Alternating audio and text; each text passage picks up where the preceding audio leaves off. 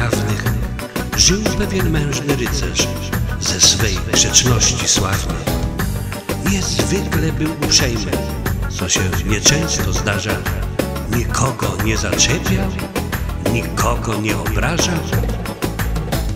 Grzecznie rozmawiał z każdym, słów brzydkich nie używał. Mile widzianym gościem na zamku króla bywał. A nieopodal zamku, jak głoszą dzieje stare, smok groźny i podstępny w górach miał swą pieczarę.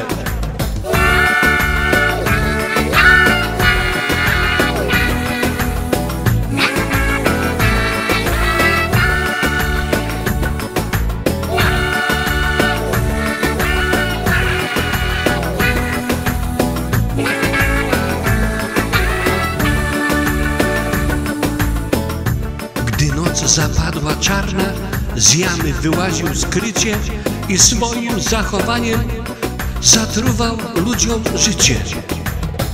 Król z gniewu brodę targał i, jak to często bywa, temu, kto zgładzi smoka, córkę swą obiecywał. Nie jeden tam już śmiałek konno i z mieczem w dłoni, z okrzykiem Gin poczwaro! Do smoczej jamy gonił. Lecz smok tak ogniem ziajał i ryczał tak donośnie, że każdy, choć odważny, umykał, gdzie pieprz rośnie.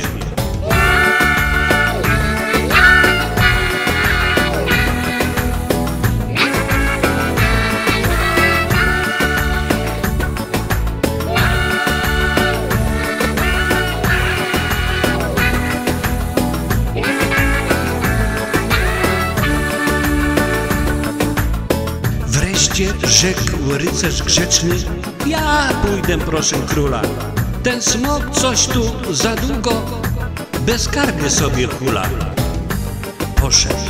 Przy smoczej jamie przystanął w pełnej zbroi i palcem puk, puk w skałę zapukał jak przystoi. Przepraszam, że przeszkadzam, rzekł, lecz to ważna sprawa. Chciałbym z szanownym panem poważnie porozmawiać. Smok zdębiał. Już rycerzy przeprosił stąd nie mało. Teraz nie pisnął słowa. Po prostu go zatkało.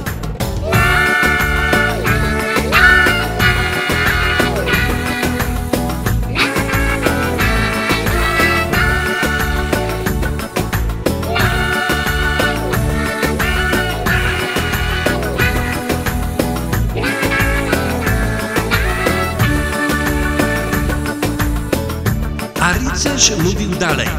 Zwykle unikam bujek, ale się pan niestety okropnie zachowuje. Niestety ogniem zionie, niestety owce dusi, więc skórę pan niestety ode mnie dostać musi. Mam pana kolnąć mieczem czy kopią, jak pan woli, ale uprzedzam z góry, że to okropnie boli. Więc może by pan jednak stąd dobrowolnie poszedł. Niechże się pan namyśli, uprzejmie pana proszę.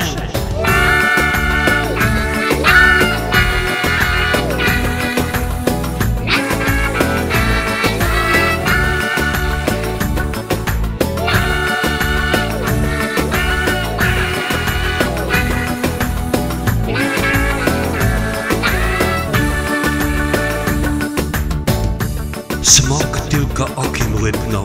Podumał jeszcze chwilę i sapnął. Chyba pójdę, gdy mnie tak prosisz, mile. Chociaż owieczek tłustych spora tu jest gromada. Lecz gdy ktoś grzecznie prosi, odmówić nie wypada. Pa, żegnam! Machnął łapą, ukradkiem łzę starł z oka. Rozwinął smocze skrzydła i zniknął gdzieś w obłokach. Król z córką na zwycięstwo już czekał na tarasie. I weselisko huczne wyprawił w krótkim czasie.